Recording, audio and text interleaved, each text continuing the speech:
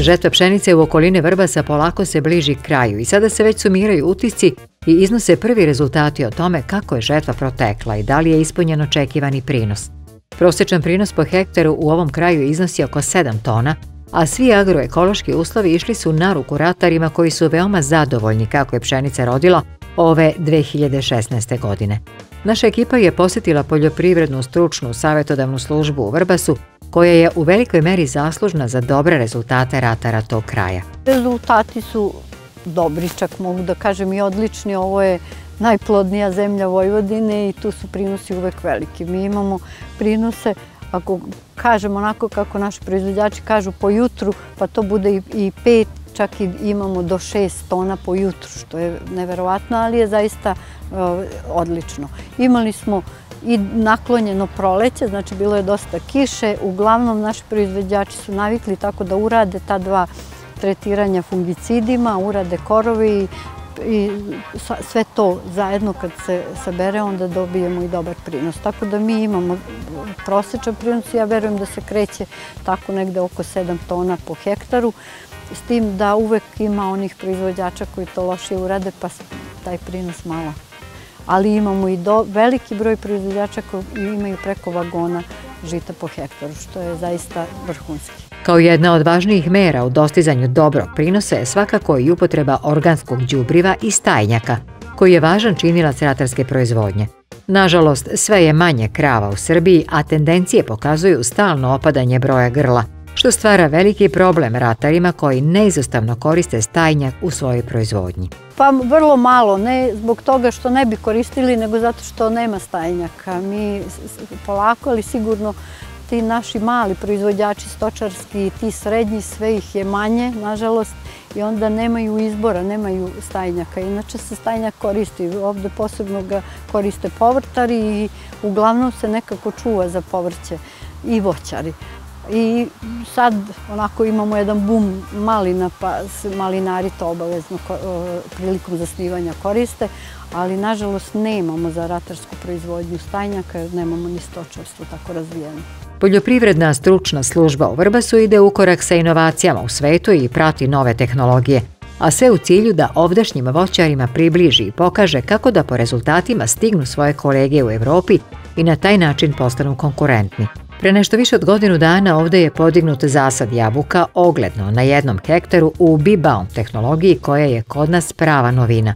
Mi smo upitali našu sagovornicu koliko voćari ovog kraja dolaze da vide ovakav jedan modern zasad, da li planiraju da i oni urade nešto slično i koja su najčešća pitanja koja tom prilikom postavljaju. Svima je čudno upravo ovo što, kao što vidite, ove rašlje, što bi rekli, ovaj, e, dve vođice iz ove jedne podloge, to je e, do skoro bilo nezamislivo da se na taj način ovaj, uzgaja voće. Međutim, i prvo što proizvođači vide kad dođu ovde, njima to padne u oči i vrlo su radoznali da saznaju šta se to dešava, kako to, koji je to sistem, šta se tu dobija, šta se gubi i na taj način.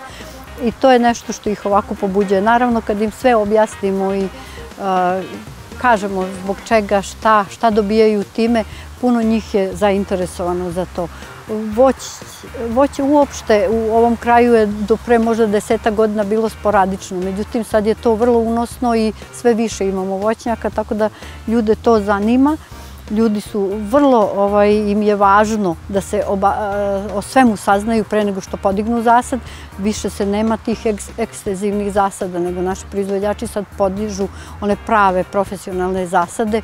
Videli ste ima jako puno sa, protivgradnih mreža, sa novim sistemom uzgoja. Ima, mislim, zaista su sad tu uglavnom mladi ljudi i uglavnom ispoštuju kompletno sve te nove tehnologije, što je jako dobro jer mi jednostavno ovaj, samo na takav način mogu biti konkurentni. Oni su, ovaj, nemamo mi neke, eh, osim veliki sistemi, nemamo neke velike zasade, ali tu od 2 do 5, 7 hektara, to je neki prosek i tu kad se uradi sve kako treba, onda zaista proizvodjači imaju ovaj razloga da, da, da podižu zasade. Bibaum tehnologija stigla je u poljoprivrednu službu u Vrbasu pravo iz Italije, A koje su sve prednosti ovakvog uzgoja i koliko su voćari otvoreni prema novinama, upitali smo našu sagovornicu. Bibaum tehnologija, ovaj, videli ste i sami, znači na jednu podlogu su se kaleme dve vođice i e, sistem gajenja je na 1,20 m između biljke do biljke, 60 je između jedne i druge vođice i, i e, e, suština je da se napravi što tanji ovaj proizvodni zid.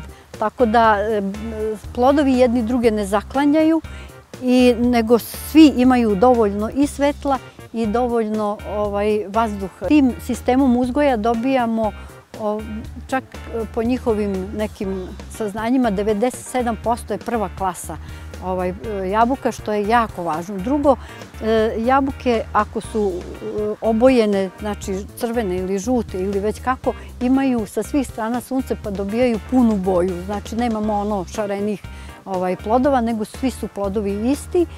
E, drugo, mala je ovaj, e, ovde konkurencija kod korena, zato što je ipak to 1,20 m, a ne 60 kao do sad što je bilo. Na ovaj način je jako lagano uraditi mehaničku rezidbu. Tu se e, ogromna ljudska radna snaga ovaj, eliminiše iz ovakvog sistema uzgoja, što je jako važno danas posebno kad i nemamo tako ovaj, obučene te radne snage za, za rezidbu, pravilnu rezidbu voćnjaka, tako da se na više načina ovaj, dobija e, ovakvom sadnjom. To je novo, u svetu se radi, u Evropi posebno.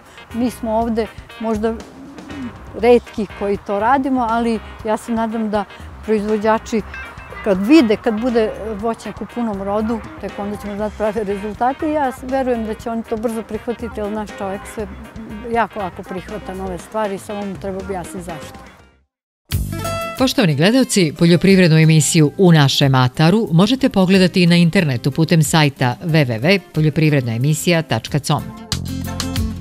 Za sve što ste propustili ili želite ponovo da pogledate, posjetite www.poljoprivrednaemisija.com.